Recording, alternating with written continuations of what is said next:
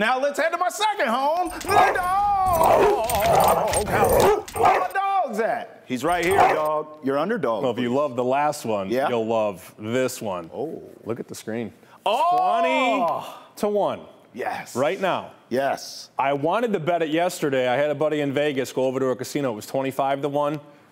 By the time he got there, it was 20 to 1. Wow. Yeah, that's why you got to have these apps, right? Yeah. Um, some books in this country are 14, 15 to 1. This is a bet on them basically winning the division, getting into the tournament, and then Okay. you see what happens.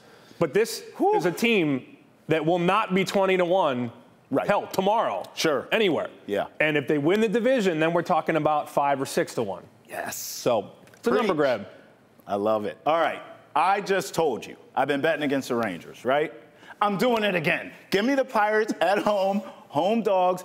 Listen, this is just a calculated spot to roll the dice. That's really what it is, okay? The Pirates have not been playing well recently, but they are at home. I think this is a get right spot for them in a bad division that we've talked about. And then the Rangers. I know they've been playing well this season, but they just smoked the Rockies. Really, the Rockies. I, I mean, I think this is an overrated team, Sammy P. So I'm going to take my chances on the Pirates at home to win this on the money line.